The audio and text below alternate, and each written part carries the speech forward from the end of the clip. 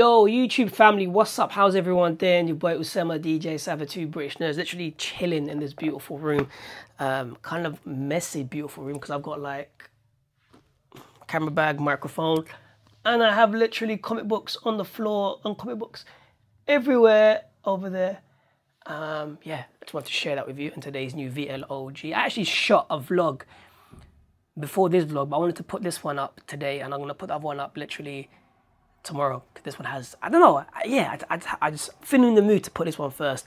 Um, so let's speak about comic books or movies. Um, no, let's speak about what I wanted to speak to beautiful people about. And that's, that's of course Doctor Stephen Strange. Literally one of my favorite Marvel characters on the planet.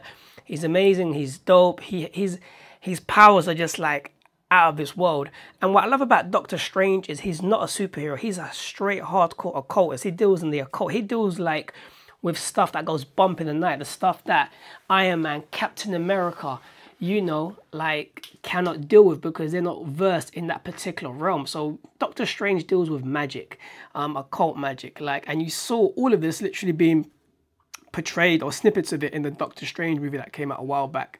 And I loved it. I really loved the fact that we saw basically Doctor Strange coming to us on the big screens. Um, I what I love about what I love about Doctor Strange is it's like he deals in the realms of magic, um, hand-to-hand combat. He's amazing. He can he can teleport. He can levitate. He's got telekinesis.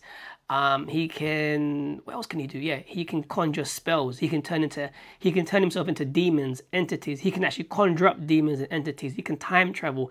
He can um, freeze your astral body. He he has the ability to do um, telepathy. He can do mind control. Like he he is an all round sick character. Like and I really want to see more of that basically being portrayed with the next um, Doctor Strange movie, and hopefully that gets announced um, this year in San Diego. Because even though I love the Doctor Strange movie, we didn't see lots of the elements that make up Doctor Strange literally within the comic books, and I guess they couldn't because, to be honest they would have had to make the, the movie like Certificate 15 for it to be a hardcore Doctor Strange movie because he is dark. There's actually an arc in the comic books called Doctor Strange, Master of the Dark Black uh, Mystical Arts or Black Arts, where he goes deep into the realms of magic, and that's when he actually, um, literally, he gets an all new suit. So, like, I love Doctor Strange. I've got um, Doctor Strange Masterworks Volume One and Two. I need to get Masterworks Volume Three. I might, I might get the omnibus the second omnibus or the first one and basically just read, man.